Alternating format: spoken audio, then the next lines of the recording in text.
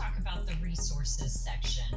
The resources section allows you to house any documents that might not be a fillable form, but something that your users need to reference. Some examples might be policies, procedures, maybe a diagram, something like this that is really just a reference document that your users might need to pull up and look at at any time. Um, so the resources section is a great option for that and they're actually very easy to upload to the site. You can add them individually by just clicking the add option here and you'll actually see you get the option to just drag and drop the file or you can just upload it straight from your computer as well. Um, from here you will need to title the document. So this is an instruction manual. Uh, so I did for our gas monitor. So I'm just going to say gas monitor instruction manual. It will require a tag, which is basically the folder that it's going to lie in. Um, so here I am going to go ahead and create a manuals tag so that I have a folder for my manuals.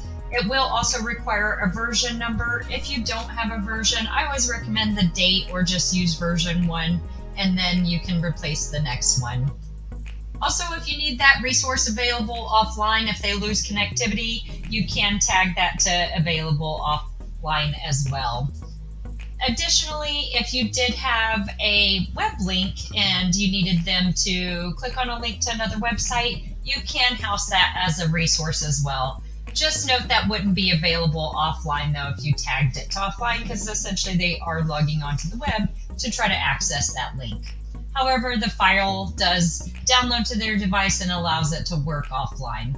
So you can go ahead and save changes here.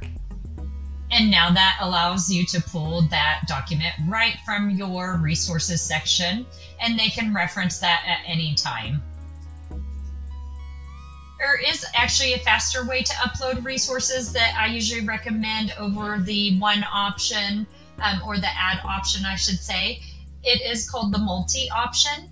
The only thing is you can't tag them offline. You will still have to go in and edit them and tag the ones you need offline. However, this is much faster for uploading purposes to just drag and drop them from your computer right onto the site so that you can upload them.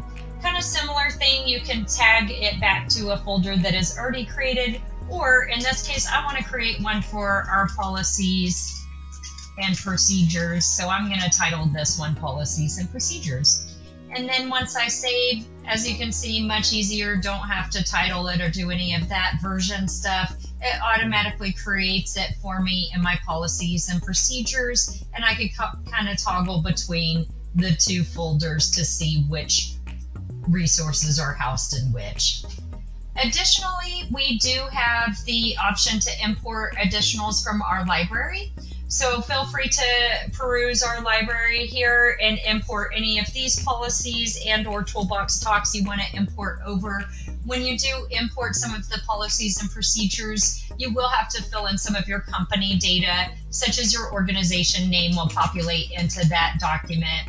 The position, such as a job title, would need to be entered here and then a phone number of whatever that is. And then we just import that, and that would import that resource with those fields already filled in for you.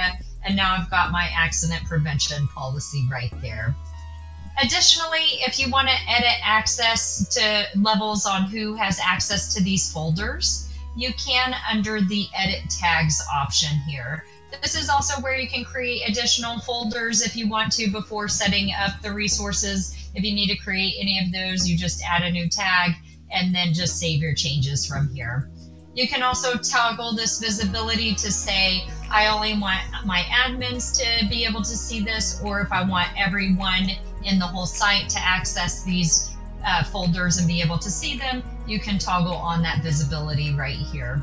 You can also give uh, a very specific editor role if you need them to access a certain folder. So if you didn't want them to access the resources, or if you did want to, them to access not the resources over a whole, but just a certain folder, you can toggle on access to just a certain folder instead of giving them access to every single folder by using this editor rules right here. Lastly, it does automatically put everything in alphabetical order. So if you did kind of want to trick it to pop something to the top, let's say this last one here, I want it to be the top document, you can click edit and you can do little tips and tricks like inserting a character will push it over the alpha characters, or if you did a number one, things like that would allow it to pop to the top. So if I save changes here, you can see it actually popped that to the top once I added that special character in there and then put it over the alpha characters. Um, so those are some kind of tips and tricks for sorting your resources as well. Of course, if you do have additional questions, reach out to our support team at support at kpaehs.com.